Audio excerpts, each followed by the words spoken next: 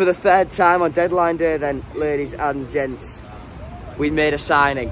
The third one through the door was Marcus Forss on loan from Brentford until the end of the season. The statement says, um, my arm's aching here, I'm recording all these in quick succession, God. Um, the 22-year-old Finland international scored 30 goals in 94 career appearances and becomes the Tigers' fourth January recruit. Forss has played 12 games for the Bees this season with seven of those outings coming in the Premier League and scored four times in a 7-0 Carabao Cup thrashing of Oldham Athletic. And then there's no there's no stuff from him, it's just information about his career and whatever.